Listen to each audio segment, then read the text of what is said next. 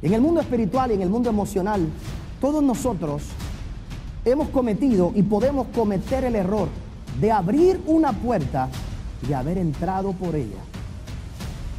Y tener el dolor de saber que si no hubiéramos abierto esa puerta, nuestra vida hoy sería diferente. Tú y yo tenemos que saber que cuando oímos la voz del Señor y entramos y salimos por la puerta que es Él, vamos a hallar lo que no hemos encontrado en ningún otro lugar. Ahora, las puertas, ya, ya teniendo ese contexto, que de ahí es que ahora Jesús tiene que explicar. Oye, ustedes no acaban de ver lo que pasó con este ciego.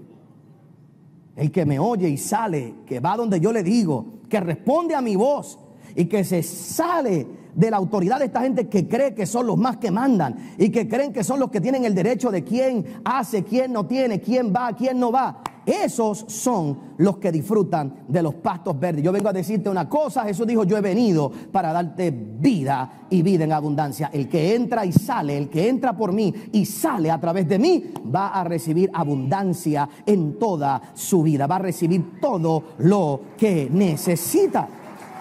En la puerta.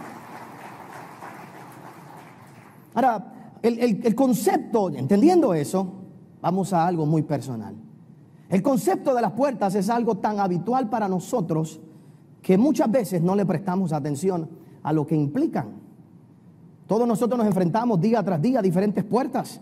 Por ejemplo, una puerta en un elevador. Cuando te paras frente a una puerta de un elevador, tú esperas que esa puerta simplemente se abra. Y la idea de estar frente a ese elevador es una sola cosa, subir o bajar algún piso, llegar a otro lugar. No importa si estás en un lugar, en el piso 3, piso 4, quieres subir, quieres bajar, estás frente a esa puerta y todo lo que estás esperando es que se abra. Estamos hoy acostumbrados a las puertas con, con códigos, con pines. Llegamos al momento donde ahora hasta muchas puertas simplemente con nuestras huellas digitales se van a abrir y nos dan acceso a una nueva dimensión. Sabemos y estamos abiertos, sabemos lo que es estar parado frente a una puerta de estas famosas electrónicas, sliding doors, donde usted simplemente se acerca a ellas y la puerta se abre delante de usted. Hay puertas para todo tipo de cosas. Están las puertas que rotan, que es un grande problema, usted meterse en una puerta de esta y que la persona que está al frente se detenga y se le pare la puerta y usted en el medio se queda pillado. O sería muy triste en la vida dar vuelta en esa puerta y nunca accesar el otro lugar al que se supone que usted llegue. Tenemos hasta puertas en nuestras casas para los perritos, para nuestras mascotas. Están las puertas de la cárcel. Y si usted no ha estado en una cárcel, uno de los sonidos más impresionantes que usted va a escuchar es el cerrar una puerta. Cuando nosotros vamos a la cárcel, cuando uno entra, cruza esa puerta, se abre esa puerta, ese portón, mm, uno oye la electricidad y uno entra y detrás de uno, ese portón se cierra y usted oye ese clan, clan. Es algo impresionante. Aquí cuando traemos los confinados, uno de los sonidos más tristes que uno oye es al final del servicio comenzar a oír las cadenas. Clac, clac, clac, clac, clac, clac. Y si para uno que pasa por esa puerta sabiendo que esa puerta se va a volver a abrir para uno para salir, imagínate para aquellos que escucharon esa puerta una vez y que simplemente no saben cuándo saldrán de ese lugar. Lo que me lleva a que entendamos por un momento en el día de hoy que una de las peores experiencias que puede tener una persona en la vida es saber que un día abrió una puerta que nunca debió haber abierto.